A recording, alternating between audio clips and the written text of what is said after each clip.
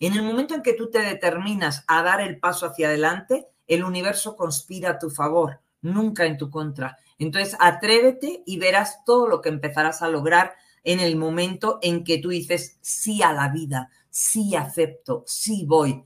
Entonces, en ese momento estás dejando ir el control y sueltas toda la necesidad de controlar cada detalle. ¿eh? Al contrario, se, entras en el flujo natural de la vida sin expectativas, sin resultados específicos y te abres a lo nuevo que pueda surgir en el camino.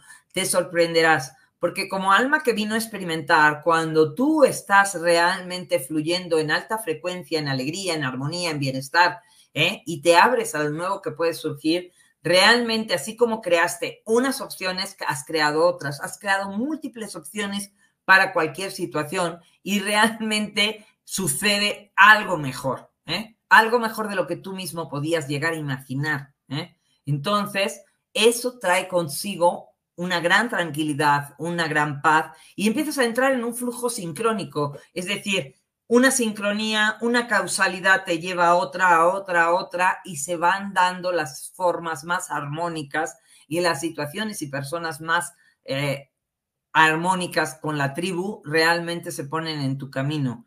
Comparte eh, tu paciencia, eh, practica la paciencia. la paciencia es la paz, la esencia de la paz. Entonces, lógicamente, a veces los resultados no van a ser inmediatos en este salto. Puede por momentos que te puedas sentir un poco desorientado al principio, pero con paciencia, con calma, con tranquilidad, con mucho amor y alegría, las cosas empezarán a encajar. ¿eh? Resultados y recompensas se tienen inmediatamente. Pasa ahora con la nueva energía.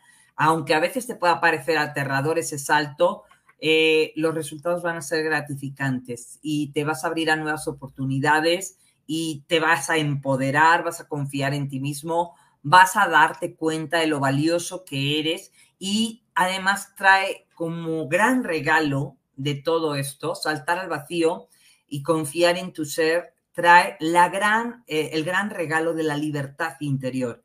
La libertad, acuérdate que consiste en esa verdad que te hace libre, en esa eh, sacar tu propia voz, sacar tu propia esencia.